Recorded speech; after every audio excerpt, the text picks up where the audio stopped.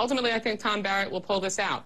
But regardless, it's given the Obama for America operation an opportunity to do the it. dry run Yeah. that we need of our Yeah. massive, significant, dynamic grassroots presidential campaign, which which can't really be matched by uh, by the Romney campaign or the Republicans because they've they've ignored on the ground operations. And let me